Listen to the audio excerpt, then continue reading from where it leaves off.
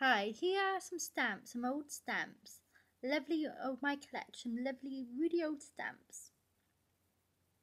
Really nice.